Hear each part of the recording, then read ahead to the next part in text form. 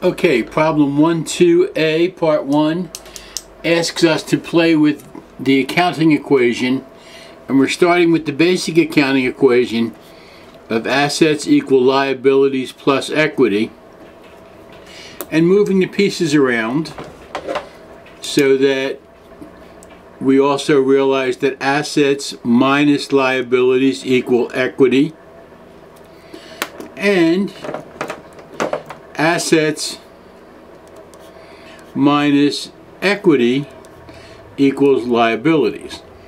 This problem asks us to use all of those variations. Well, in part A of this, they tell us that this company has $55,000 in assets. So let's write that in, 55,000.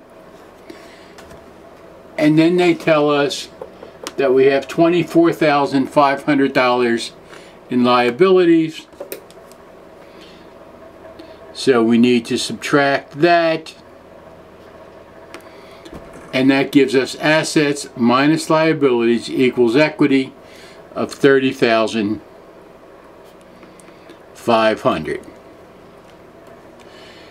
The next tells us that it wants us to find the equity at the end of the next year.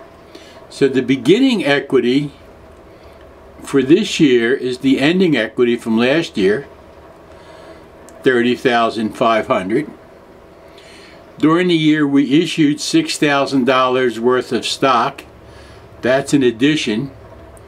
Plus the net income, remember, flows through two retained earnings, so that's an addition of 8,500. And we gave away cash dividends, and cash dividends come out of retained earnings. And our cash dividends this year were 3,500.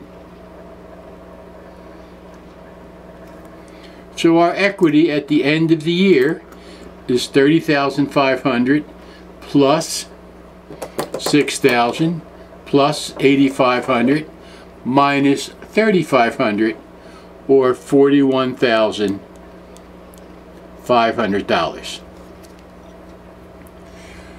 Then they tell us on December 31st if our assets were 58,000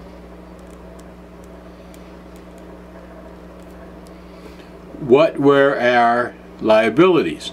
Well, they gave us the equity. So we'll subtract the equity.